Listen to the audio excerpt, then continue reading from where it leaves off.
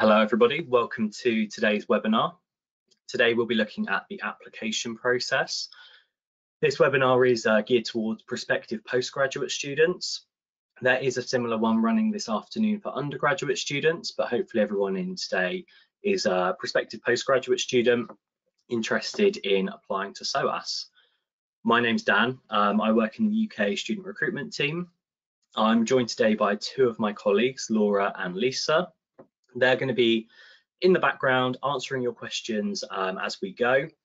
You are able to submit those questions um, using the questions in the chat box that's available to you. So as we go through the session today, as I'm talking to you, please do feel free to pop any questions you have into the chat. Laura and Lisa will do their best to answer as we go through. And then at the end, we also have some time set aside for Q&A too. So as we get started, I thought uh, a nice introduction would be to show you some of the sort of key uh, subject areas that we focus on at SOAS. As a university, we're world renowned for our study of um, research into Africa, Asia and the Middle East. You'll see that there's a whole variety of different subject areas available and we truly have hundreds of different degrees that are available for students to come and study. Um, there's so much choice and so much availability and that really is something that's very special about what we have on offer at SOAS. So hopefully within here you might be able to pick out something that you're interested in. Our website has a full detail of all of the different courses within each of the subject areas. So just because you see one area here, that will actually break down into a whole number of different courses as well that are available within it. So if you're interested in a kind of particular area, but you don't know the exact course that you're looking to study just yet, I'd recommend having a look on the website, uh, drilling down into the courses that are available. And then within there, you can actually look at the modules that are available, the program specification, and get a really good understanding and overview of what that course will be like for you when you come to study with us.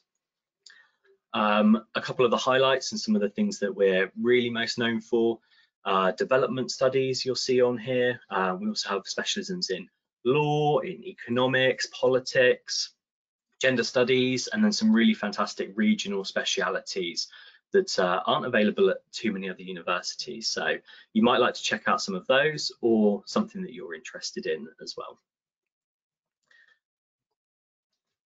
Once you've found that subject that you're interested in, it's important to then start thinking about whether you'll be able to apply to study with us. And one of those, uh, one of the most fundamental things to consider at the beginning is the entry requirements that we're asking for.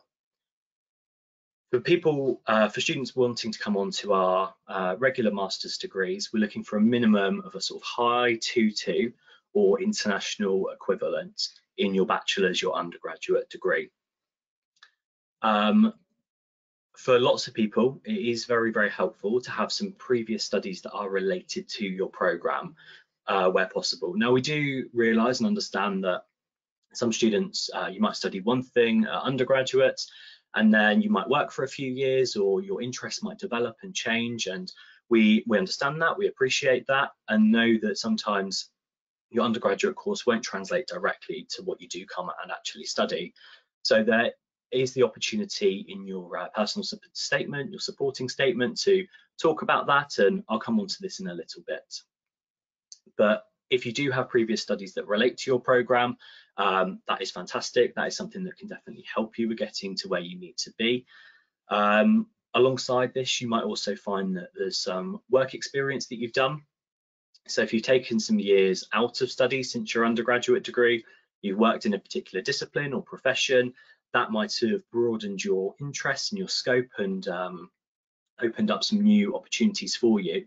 And we can see that work experience as actually being um, crucial and helping you to actually develop your interests and to decide which program you might then want to come on and study at postgraduate level. Some of the courses might find, uh, might specify um, some particular experiences that you might need to have had or that would be helpful as well. So it's worth looking out for any of those specific um, program, um, pro yeah, program specific, sorry, entry requirements that are asked for. You can find all of these types of things again on the website. If you head onto those subject pages, you'll see a heading and a box for entry requirements, and this will stipulate everything that's needed for the particular course that you're interested in. So do make sure that once you've found the program that you're particularly interested in, that you explore any of the specific entry requirements that are needed for your course. Some students may find that they want to take part in a pre-masters program. Um, at SOAS, this is called the um, FDPS, Foundation Diploma for Postgraduate Study. Um, this is really designed for international students who want to study for a postgraduate taught degree or even a research degree at later stages um, at a British university. But it's for those who um, may need to, um, uh, who maybe are sort of wanting to develop a number of different things. So firstly, it could be that you have an undergraduate degree already, um, and that might meet the requirements of entry, but you're looking to develop your English or your academic study skills um, to allow you to succeed at uh, the UK university at SOAS that you might be wishing to come to. So that will help you to really prepare for master's study. It could be that you have a full undergraduate degree, um, but you're wishing to actually change the focus of your study. So you might have studied one thing at undergraduate level, and you're wanting to completely change that for postgraduate study, um, but you haven't got the sort of necessary background experience or that work experience that we've touched upon that might have indicated why that change is happening. So this will again help you to develop and deepen your knowledge um, of the relevant sort of subject area that you're then looking to study. Or it could also be that um, your previous studies haven't actually allowed you to meet the academic entry requirements. So this could be based on uh, the degree you've done, um, and if it doesn't sort of meet what, what we're asking for in our entry requirements, then this program will um, help you to um, sort of apply and add value to your academic performance. So that pre-masters year will really act as a foundation for you to be able to um, move on to the course that you're looking for. And there is a good level of um, uh, progression on from those courses. So students who do actually achieve a minimum level um, of academic and English language performance on the FDPS, the pre-masters, are guaranteed progression onto many of our postgraduate programs. Um, and they will also actually receive a 10% discount off their tuition fees. So that's also a nice little bonus as well. So this might be one thing for you to uh, bear in mind and consider. So now moving on to um, how to apply. Firstly, looking at taught masters courses. There is an online application form and online application hub, and this is the main place where you'll be um, uh, submitting your application. There's a variety of things that you'll be asked to submit. And firstly, we'll look for some general biographical um, information about you. So information about you, maybe where you've studied before, uh, any suitable work experience that you wish to include, um, contact details, that sort of stuff. There is then a box that asks for um, your choice of program, and you'll notice that we ask you for a first and second choice. Now, you only have to submit a first choice, which um, is for everyone, but some people may wish to then be considered for a second choice if for any reason they weren't eligible for their first or primary choice. So you'll only be considered for that second one if you choose to submit one, and B, if you weren't um, eligible for your first choice, of course. So you don't need to worry about that too much if you see the box that says second choice and you haven't thought about a second one, um, but it's just there for those students who might wish to submit one. Now, importantly, as I touched upon earlier, there is the opportunity um, to submit a supporting statement, and this is really a section that will allow you and your interest to come through.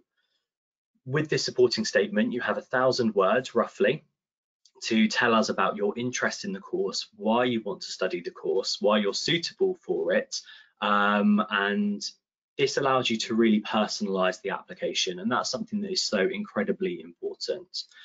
Lots of the information on your application uh, will be just sort of um, quite general about you and uh, might be quite numeric or um, in short form answers. Whereas this supporting statement really does, yeah, allow you to flourish and to shine through and to show us why you will be suitable for the course that you're looking to study. In addition, we do ask for a CV or resume.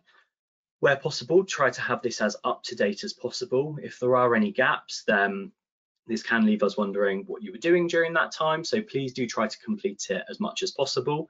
Don't worry if um, maybe you were doing some work that wasn't quite exactly relevant to the postgraduate course you're going on to.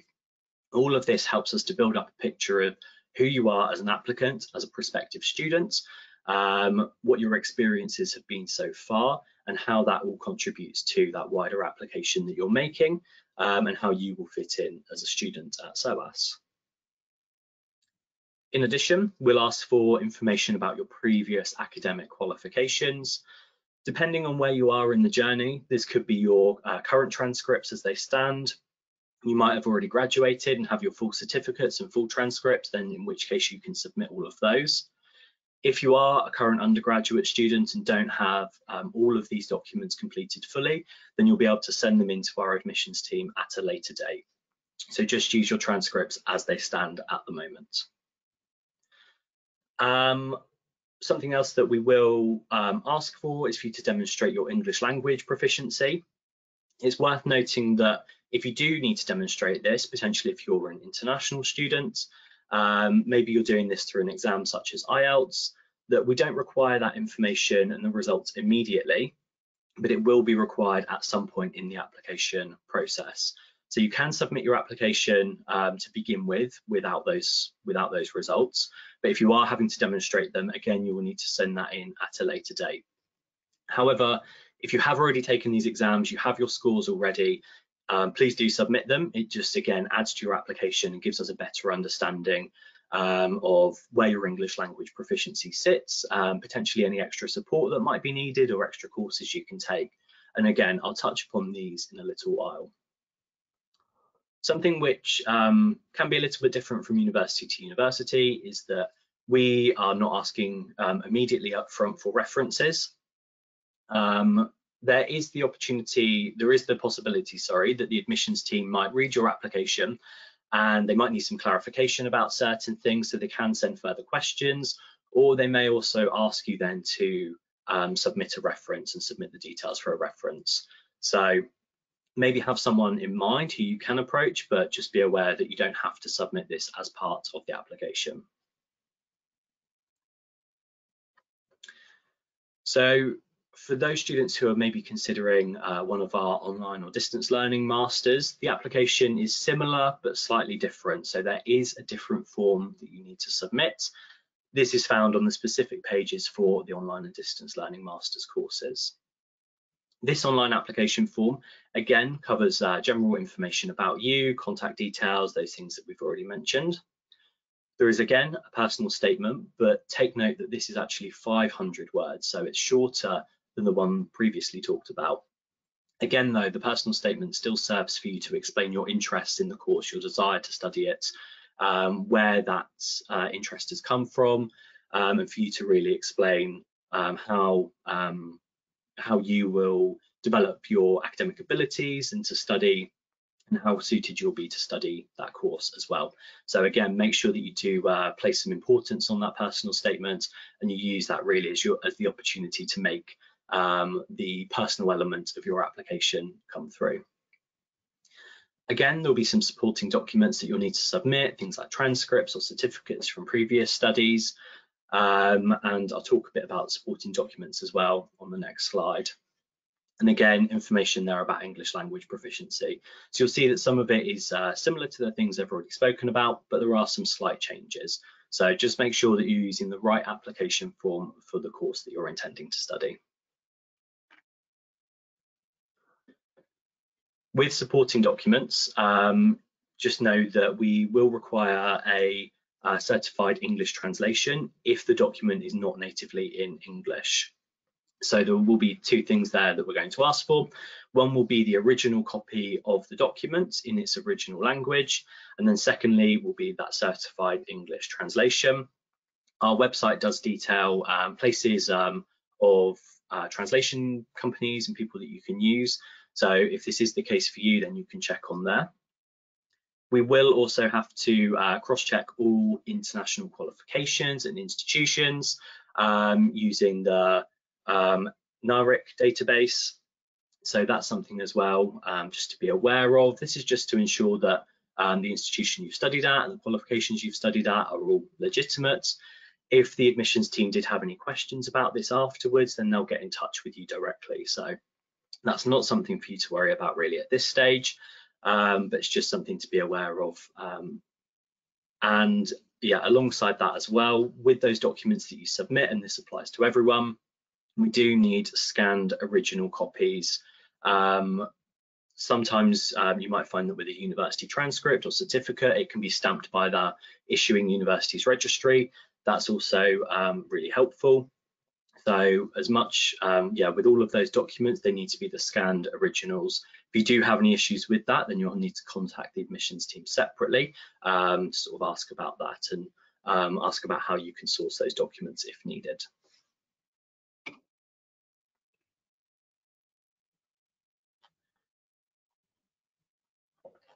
So with your application, um, once you've submitted it, as I've mentioned, the admissions team will then be considering it. Um, your whole application is considered um, before any sort of decision is reached and communicated to you. So you do need to make sure that you've submitted a full application as much as possible, and this will um, ensure that uh, there's as little opportunity for delays to take place. So that typical response time, that turnaround time is around four to six weeks. But during busier times, for example, when we approach the um, deadline for submission of applications, this can be a little bit longer. Rest assured though, if you have submitted an application, the admissions team will be getting to it. They will get back to you, um, but sometimes this can take a little while, especially as I say, when it's a busy time of year. You'll receive that information by email um, and you'll be able to um, access a offer, uh, you'll be able to access a link in your offer letter and this is how you'll be able to then uh, reply to your offer. So once you receive that, click the click the link that's in there. It's really important that you read your offer letter in full detail as well, because this might contain any other conditions um, of your offer. So make sure that you understand everything that's contained within. And if you do need to ask any questions about this, again, you'll be able to. To accept your offer, you will then have to pay a deposit. Currently for home students, this stands at £1,000 and for international students, uh, overseas students, this stands at £2,000. There are some exemptions though. Um, so for students who are going to be fully funded by an official sponsor or scholarship, uh, it is possible for us to waive the deposit. We will need, however, full evidence that that is the case um, and that you've made that application or are making that application. Um, but yeah, that is something for you to be aware of and you can contact the admissions team about that for the deposit waiver. Then once this is done, it's uh, time for you to really prepare for your studies and for different people. Um, this will look uh, like uh, this will be sort of individual to you really. So it might be that you're completing your current undergraduate degree, ensuring that you get the best results there. For some international students, this might be that you need to apply for a study visa, um, submit a request for a CAS. So you can begin that process when it's time. Um, more information about those two particular things as well are available on our website in the international students section. So you can look at the timelines and how to go about those if needed. Um, it might be the case that you'll be moving to London to study and you might need to start thinking about accommodation as well. There's a whole host of different resources that are available to support you in preparing uh, to join us at SOAS.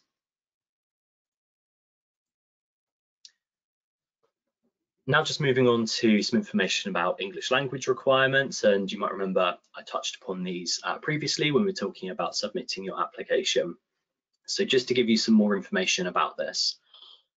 For students who are looking at uh, direct entry onto our postgraduate courses, you can see the typical um, results that we're asking for, the typical scores we're asking for in those um, English language tests. There are other ways and alternative sorts of qualifications which can demonstrate English proficiency as well. There's a whole list of these available on our website, but I've selected three which uh, might be relevant to some of you. And these are available for and valid for uh, different lengths of time as well. So it could be that you've uh, completed A-level English or perhaps International Baccalaureate English, or you might have studied um, and obtained a degree recently from a certain English medium university as well. So that's uh, a couple of other ways, but if you do need to complete one of those English language tests, um, again, there's lots of information on our website about them. There is a link just at the bottom um, of the slide there. It's very easy to find all of that. Um, and then you can uh, find out um, how to go about completing one of those tests as well. For some students, they might be asked, and this can be a condition of your offer, which is to complete a pre-sessional or an in-sessional um, English course, and that can supplement your, that's to improve and supplement your English proficiency.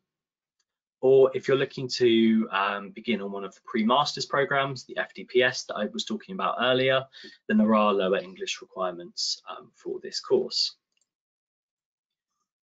There are a few um, additional courses run by our Foundation College, which may be um, of interest to those of you who are needing to develop your English proficiency. First off is the Access to English Language Studies program. This is an online 11-week um, program, uh, sort of a training course to really prepare you um, to come and study at SOAS. It's designed to bridge the gap between roughly students who are at a 4.5 in IELTS um, and to bring them up to a 5.5.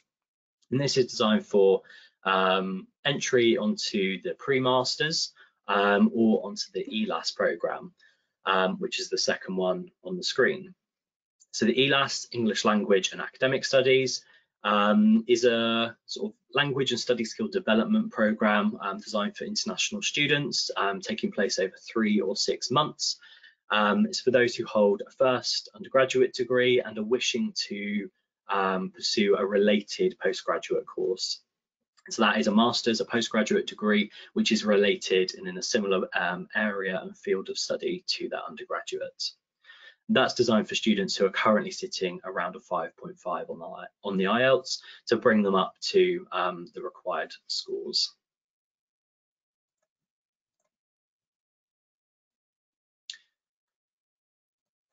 So I thought it might also be good just to talk briefly about funding your studies.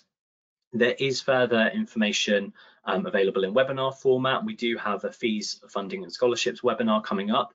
So this isn't going to be in full depth, but I'm just going to touch upon some of the aspects that will be important for you to be considering. Um, and the dates of those future webinars will be shared at the end. So firstly, um, it's important to think about the tuition fees. For our regular postgraduate degrees, there are three bands of fees. So depending on which uh, subject you study, it will be in a particular band. For home students, the fees range from um, £11,980 up to 17,000. For international students, this ranges from 23,400 to 24,650. For our pre-masters, um, that's at 15,400. And for online distance learning, um, again, there is a there is a range here depending on which program you take, but that's currently well, for this year, 2021-22, um, the current fees for 22-23 are just being finalised. Um, that's sitting at 10,270 to 12,000. So I'd expect a small increase in um, in that for the coming year. The online distance learning, um, as we spoke about earlier, is a flexible sort of module by module system as well. So there is a pay by module option which is available, but um, the numbers that you see there are the sort of the total fees once all of those modules are considered.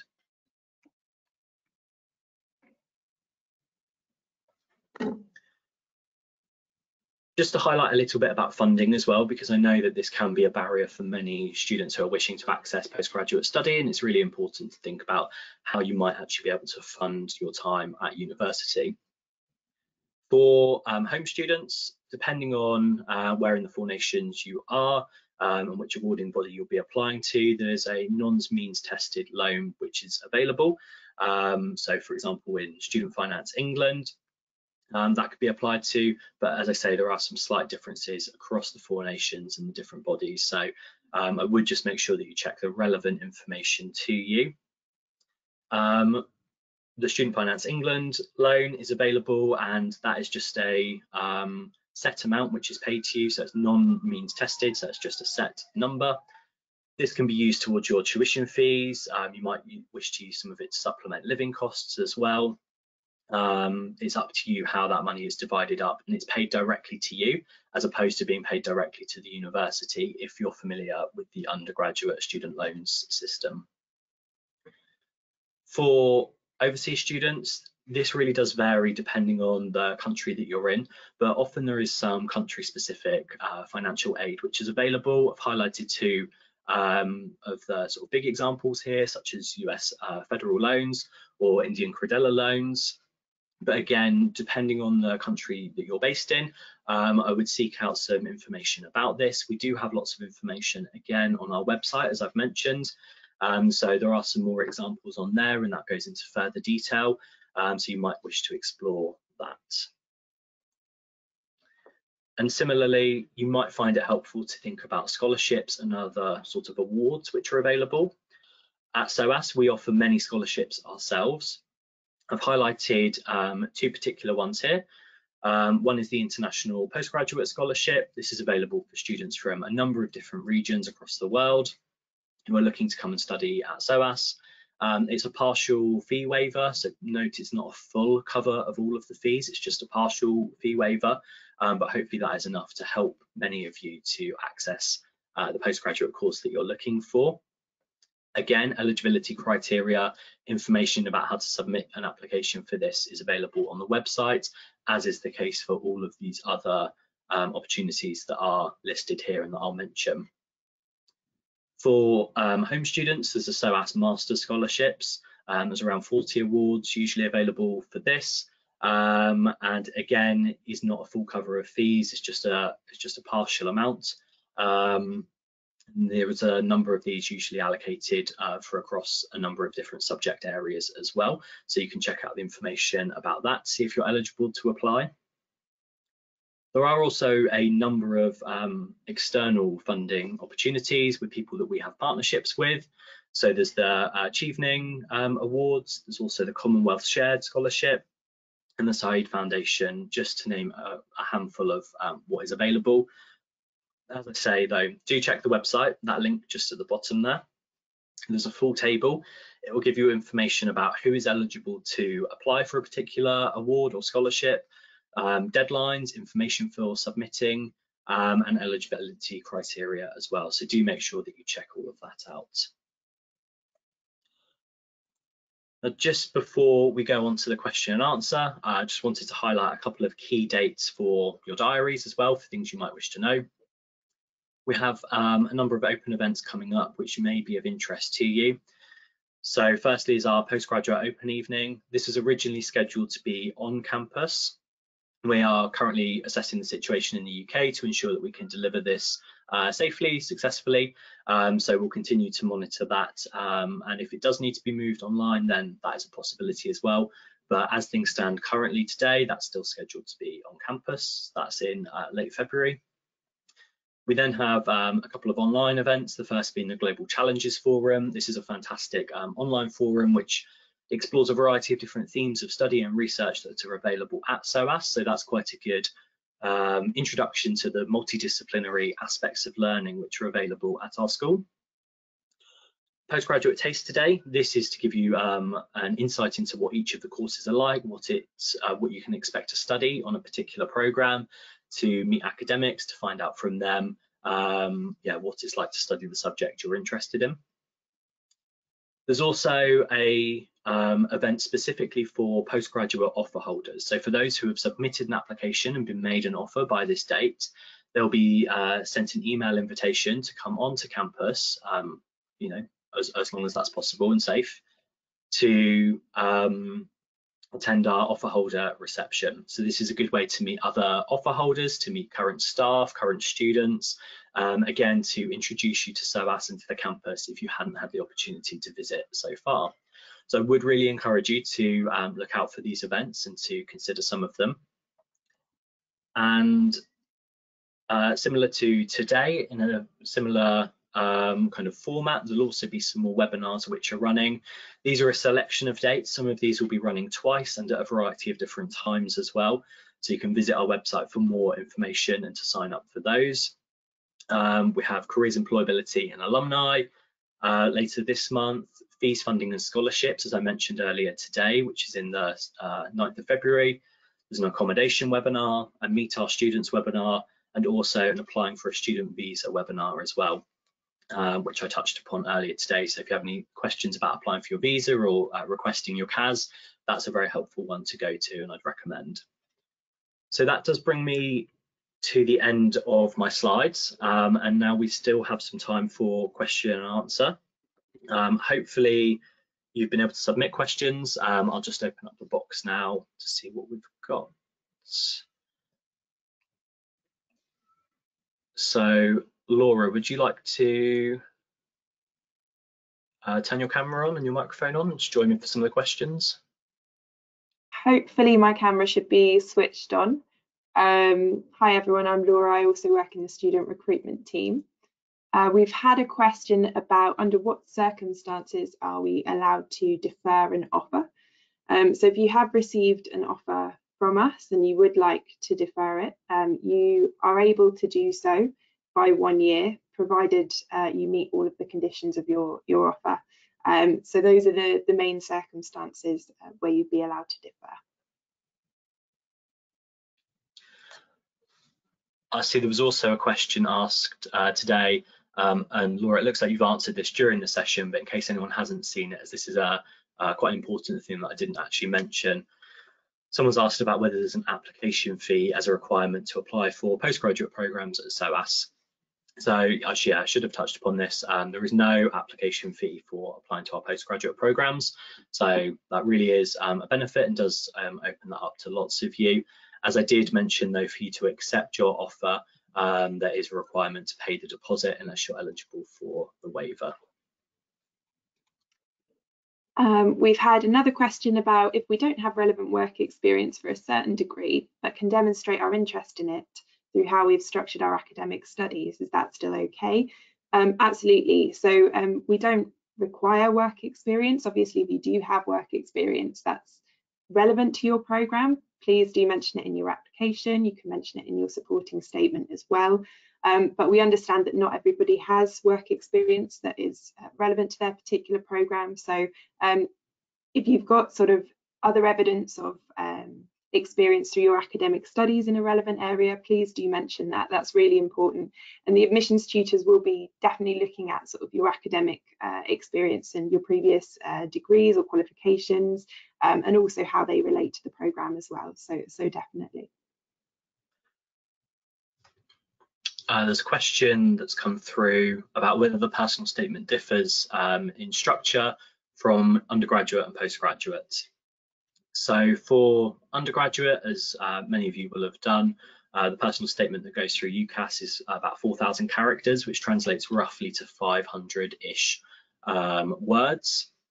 So in short, that personal statement is often shorter. So you have more opportunity to, um, uh, yeah, you have sort of a wider opportunity to write and explain your interests and what you're wanting to study in the statement that you submit for us. Um, the submit, statement you submit for us just goes directly to us um, at SOAS as a university, whereas previously the one you submitted, if you had applied to multiple universities at undergraduate level through UCAS, then you'd have been sending off one statement to potentially up to five universities. So this will just be sent to us. You can tailor it and custom uh, customize it to SOAS in particular and the exact program that you're wishing to study. So that's one way in which it differs. You may also find that um, it becomes more academic as well, and you're able to talk about more academic topics, um, to talk about sort of research that you've done, and this is something that probably wouldn't have been possible at an undergraduate level.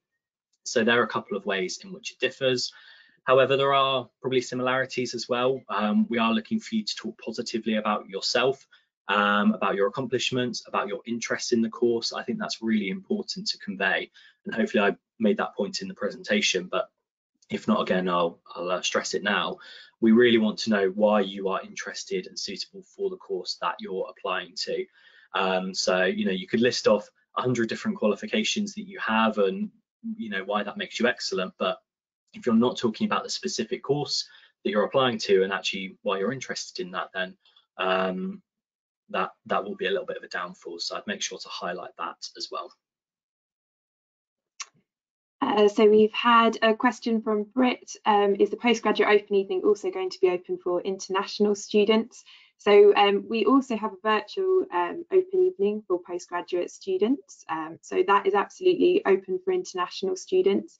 Any of our on-campus open events um, are also open to international students. Obviously, if you can you can be in the UK or if you're already in the UK and want to attend those, you're absolutely welcome to attend as well. They're, they're open to everybody.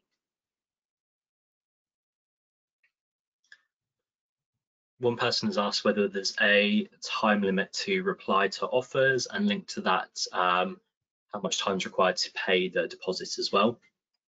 This will all be communicated to you in your offer letter. Um, so once you receive um, once you receive that from the admissions team, as I said uh, during the presentation, it's important to read that very carefully um, because that will also include information about when you will need to reply. And as I said, there'll be a link in there to actually go about replying. But yeah, make sure you read that uh, read that communication and that letter very thoroughly to get all of that information. And we've had a question from Lolita. What does the phrase about English medium universities mean if an undergraduate programme at a Chinese university is taught in English? Is this proof of English proficiency? Um, so with our sort of English requirements and with um, all universities in the UK, we now require all students who've been educated outside of one of sort of the main UKVI list of majority English speaking countries to submit um, a SELT um, that is relevant to um, the study of academic English. Um, so on our um, English requirements page on our website, you'll be able to, to see um, exactly which of the, the SELT tests we, we, we, consider. The IELTS is one of them, but we consider uh, a, a, range of other uh, tests as well. Um, but I'd also recommend um, checking on the UKVI list of majority English speaking countries to see if the country where you have studied is listed there. Um, because if it is, uh, we may be able to accept that in your, your sort of prior studies in place of, of one of those SELT English language tests. Um, if you've completed a minimum of three consecutive years at degree level um, with one of the UKVI recognised countries, and that was no more than two years ago, we might be able to consider um, an exemption. Um, but it's always worth checking with our admissions team on that as well.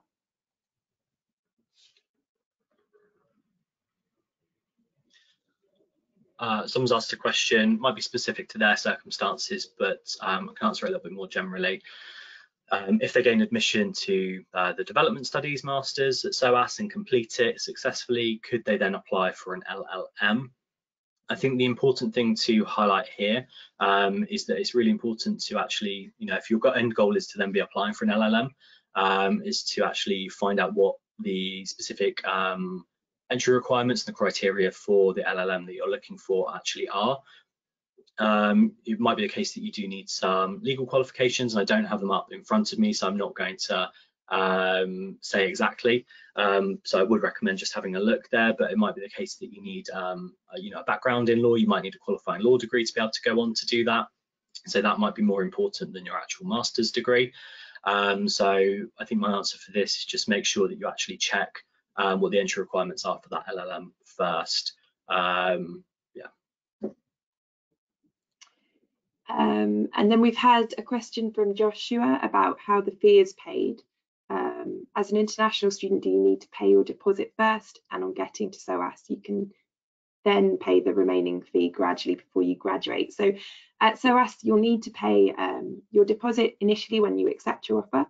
And then once you start at SOAS, that will be deducted from your first fee payment. So uh, you can either pay your um, fee in full for the year at the beginning of the year when you enroll, uh, or you can choose to pay it in two instalments. So um, if you do, do, choose to pay it in two instalments, you'll pay half of your fee um, in September when you enroll, and then the other half of the fee uh, by the end of January. Um, so that's the that's the usual structure. There are um, some exceptions to that. So for example, if you're a UK student and you're uh, in receipt of the UK government um, student loan, then you would be able to pay it in three instalments. Um, but for the majority of, of students, um, it would be in the two instalments or in full at the uh, enrolment time at the beginning of the year. Uh, further question, if, if extenuating circumstances mean that grades on our transcript were affected, but the required grade could still be met, will this be considered? Um, yes, importantly, our admissions team will uh, consider your your entire application. Um, if you're finding if you, have got yeah if you've got um, grades on your transcript and you're only partway through your undergraduate course, for example, um, and that you know maybe with COVID or a variety of different other situations that have obviously arisen, um, you've had a sort of big difficulty here and it has caused um, your grades to drop but overall um, you think you'll still be able to meet the entry requirements, then it is still worth um, considering an application. You can speak to our admissions team to get sort of further information and advice about this. Um, where possible, you might be able to think about other ways in which you can enhance your application as well. Um, so there's a variety of different things that I spoke about before. Potentially, if there's any relevant um, uh, work that you've done or um, reasons for wanting to go on to study in that area, um, if there's anything that you can do as well to sort of build up your grades, maybe thinking about extra um, research and study as well, then that will be helpful. But I will say that we do very much consider the whole application as much as possible. So don't worry too much there. Um, and we've had a question from Bisenk. Are there any con constraints about the application to the departments? Um, so it's worth always having a look um, at the specific entry requirements for the program that you're applying to, because um, some of our programs may say that um, they prefer a certain um, academic background in a certain discipline. But for the majority of departments, um, as long as you can sort of uh, make reference to sort of your interest in the program, it's always good to draw upon sort of similarities between uh, previous programs that you, you've studied and skills you've gained from those programs and how you can link them into the program that you're applying to at SOAS. Um, but um, for the majority, um, as long as you can sort of show your interest and, and link it back to your previous studies, um, that's what that's what we're looking for. That's the important bit. Um, but do have a look at the entry requirements on each individual um, program page, just in the in the instance that it is a program where we do look for a certain academic background. um, a question about the supporting statements. Someone's asked whether they should outline a rough dissertation proposal in the statement for the program that they're applying to, um, or is that sort of not necessary as it's a taught degree and not a research one. So as you've said there, as it is a taught degree that you're applying to, um, it's not expected that you'll be coming into this with a research proposal or dissertation proposal as such. However, you can use that supporting statement to highlight your interest in the course. Um, you might like to touch upon areas which you might want to research. You could mention this, um, but you don't need to use that space to basically highlight it and use it as a um, you don't need to highlight an entire dissertation proposal, sorry, I should say, um, within that supporting statement. But, you know, if you've already got an idea of an area that you think is relevant to the course you're applying to, that you think you might then want to be going on to uh, do some research in your dissertation into, then that could be something that's good, uh, good to talk about.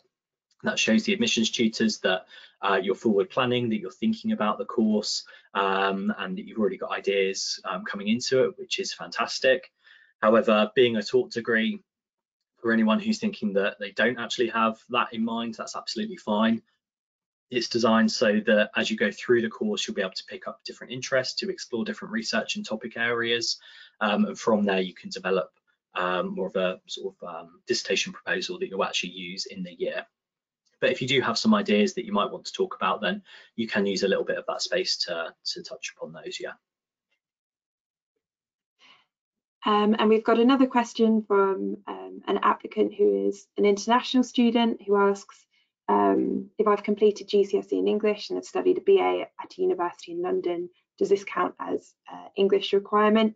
Um, so provided that your um, studies were at least three years and on your BA program and it was no more than two years ago, uh, that sounds like it, it, could count towards the English requirement. So obviously the admissions team will, will need to do a full assessment, but as long as they can see um, information on your undergraduate degree, and also in, on your GCSE in English in your application. Um, that should be fine. Um, and then if for any reason they did need you to complete another English language test, they would just um, ask you to do that as part of your offer conditions. But that does sound like um, it should be all right as long as it was in within um, the last two years that you, you studied that BA.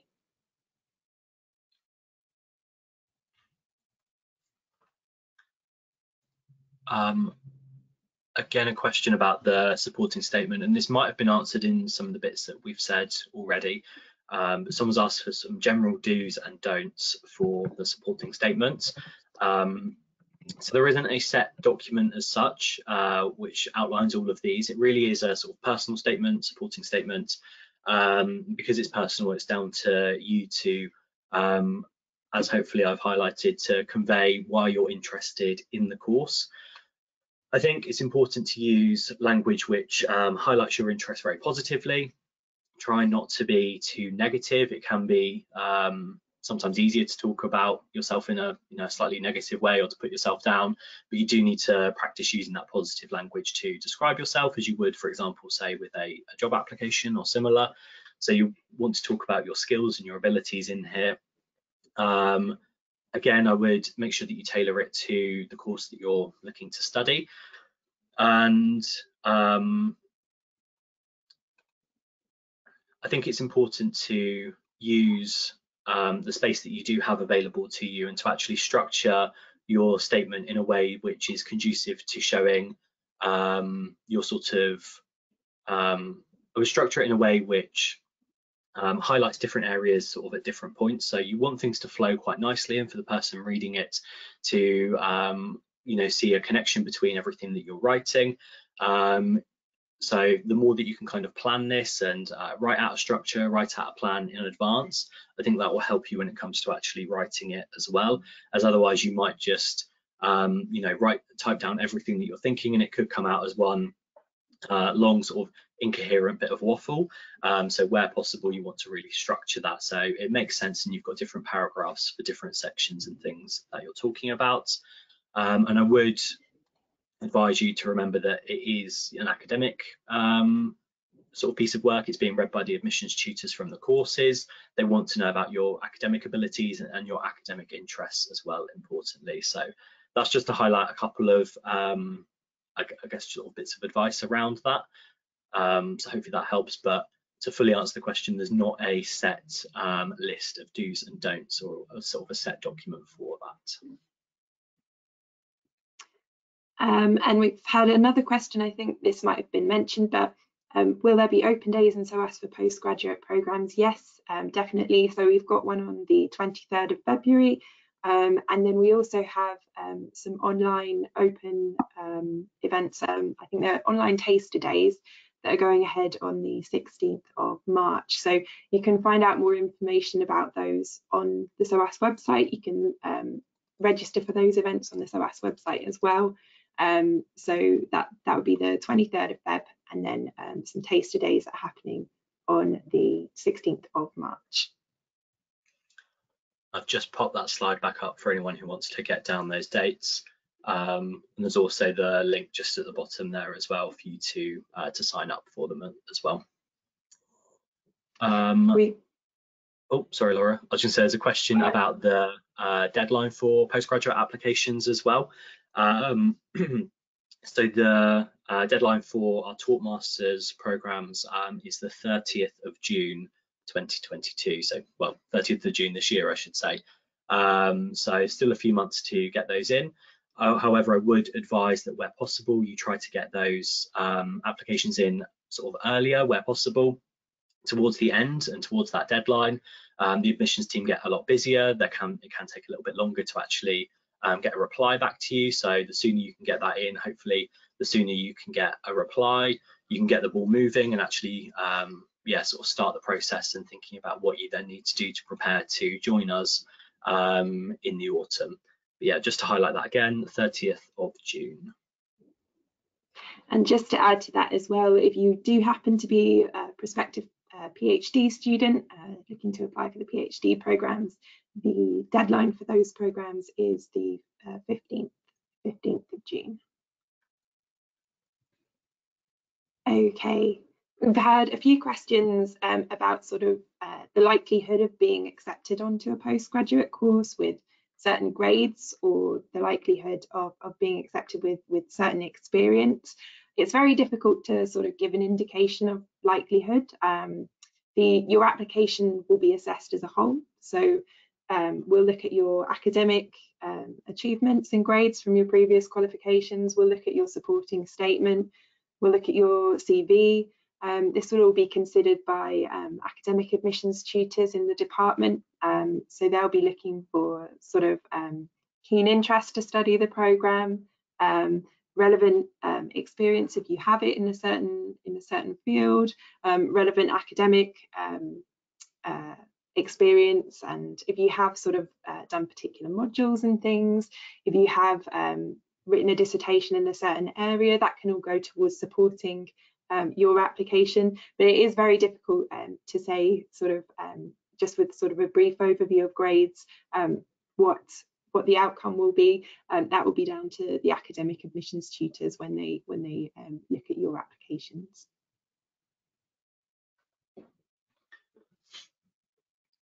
A question about students who are applying to SOAS but are going to be um, also applying for a scholarship and what happens if they are unable to get the scholarship to sort of support themselves. And I do recognise that um, postgraduate degrees and uh, study can be very expensive and it's difficult for, for some people to um, reach. There are a number of awards which we do have available and I did touch upon some of these in the presentation, but there's a full list of those available on the website. So it's important to have a look at some of those. Um, some of those are internal, which are awarded by SOAS, and some of those are external, um, awarded by a variety, a number of different organisations. So it's important to, I would recommend if you will be reliant on those, um, to apply for as much as you can, which you are eligible to, uh, eligible for. So I'd make those applications. Most of those are done, uh, most of those are awarded based on um, merit and academic ability, uh, the quality of the statement that you submit. So it's important to, as much as possible, focus on um, submitting the best application for those as well, if it's that important to you that you get them. In terms of support that we can offer, um, if you don't then get that anticipated scholarship which you're which you're hoping for, unfortunately it is a little bit limited. Um, it's such a competitive um, environment. There are so many different people applying for all of those different things, and I do think it gets harder, unfortunately, each year as we go on more and more people are interested in postgraduate study, which is fantastic, but it does slightly reduce those number of opportunities which are available um, for each person. So unfortunately, it does become a little bit harder. And aside from all of the um, awards and scholarships which we are able to offer ourselves, um, there isn't as much that we're able to do beyond that. But we have got a lot of different resources highlighted on our website. Um, so again, I would just urge you to take a look at those, consider what you're eligible for, both within scholarships, but then also within other um, other means sorts of um, other means of funding, such as through governments or other agencies which are out there as well. We've had a few questions on the applicant to offer ratios, um, also acceptance rates for certain programs as well. Um, so we don't have sort of a, a set quota in terms of kind of how many students we accept onto programs a year. It, it really varies year on year. Um, it really depends on the individual application and how well that goes towards um, meeting sort of um, what, how academics feel you'll perform on the program, um, whether whether they feel you'd be a successful student on the program, um, whether you have all of sort of the attributes that, that they would look for in a student um, mm-hmm. on, on the program. So we don't have any sort of set ratios or acceptance rates, um, but it's really about every individual application and making those applications as, as strong as possible for the programs. A question here from Joshua um, about accommodation and whether there is family accommodation available um, on campus. Um, there's a number of different providers of accommodation um, and some of those I do believe have um, sort of family uh, family sized accommodation which is available. Um, again, unfortunately, I'm going to say it's important to have a look on the website here and to actually see which ones of those have something available.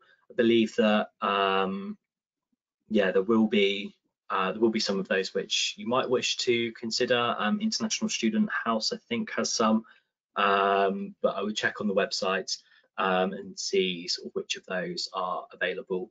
Um, you've also asked about submission of transcripts. Is it possible to use an unofficial transcript during the admissions process um, and then to supply the official one later? Uh, depending on here sort of what you mean by unofficial transcript as such, um, if you're partway through studies of, say, an undergraduate course, then if you reach out to your uh, university or provider and ask them for a transcript in its current form, that'll be able to show your grades so far, then that is something which you can submit and use as part of the application. And then once you have uh, completed the course, you can then submit any certificates and full transcripts afterwards. We've had a question from Ella who's asked when does the 2022-23 academic year start? Um, so that will start for the majority of programmes on Monday the 26th of September 2022. Um, there are certain programmes at postgraduate level which will start a little bit earlier than that. So um, programmes um, for MA um, law courses and also um, economics postgraduate courses as well will have a preliminary module which will start with an earlier start date in September, so more towards the beginning of September. Um, so those are the only ones where um, there'll be an earlier start date than the start of term, but the majority of programs will start um, on the 26th of September 2022. A question um, that a fairly sort of specific scenario, but maybe um, relevant to anyone who's considering applying for a scholarship or getting uh, funding for their course. So what happens to someone who is waiting for a scholarship and the deposit has been waived, um, but they're unable to actually get the scholarship, but are still interested in coming and then paying the deposit and the fee? Um, so what, what happens in that scenario? Um, so if your deposit is um, initially waived because you are um, applying for one of those um, methods of funding, but you're unable to get them, then to fully enroll, you will make sure you will need to then have paid the deposit and to begin the payment of fees as well. Um, and the sort of way in which you go about doing that is a couple of different uh, ways that you can pay.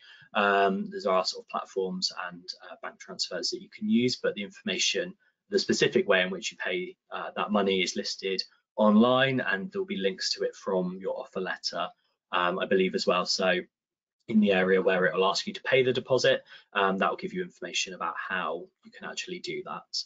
So if it was initially waived, but you're then unsuccessful in gaining that scholarship or funding, you will then still be asked to uh, pay that. Um, and we've had a question from Alex on roughly how many students are accepted onto a course. Um, uh, so if you wanted to, so as I said, it does vary sort of year on year and it does depend on each individual application. Um, but if you wanted an idea for your particular programme, um, it would be worth um, contacting the, the, department just to see how many um, students have been on the programme in uh, the most recent year. Um, so it's always good to contact the um, relevant academic course convener who can be found on the programme page on our website and they'll be able to give you an indication of the most recent intake uh, number. Um, so I'd advise you to do that. Okay, um, we are it's nearly 11, so we will have to wrap up now, but I think it's time for one last question. Um, Laura, would you be able to talk a little bit about, um, I think it's probably quite a good one to end on, um, about classes uh, next year and whether we think they're going to be in person, online, what that kind of structure might look like? Uh, so next year um, we'll be focusing on small group teaching in person um, and we'll also have some aspects of blending the blended learning. Um, so that's to embrace sort of the benefits and advantages of online learning um, as experienced by our students and by our staff over the last two years. We've had um, some very um, successful experiences and students have really enjoyed sort of the mix of blended learning. Um, so yeah, I'd say it's it's going to be um, sort of a focus on small group teaching um, and then aspects of, of, blended learning too. Um, and that will that will be sort of communicated to incoming students during the course of this year going forward as well. Fantastic, thanks so much. Um, thank you to uh, Laura, Lisa, uh, Kim as well in the background um, for helping out and answering some of those questions as we go through. Thanks to everyone for attending. That does bring us to the end. I've just popped a email address, which is study at soas.ac.uk into the chat. So if you do have any questions afterwards that you wish to ask, uh, feel free to drop us an email there. Otherwise, that brings us to the end of the session today. Thank you very much.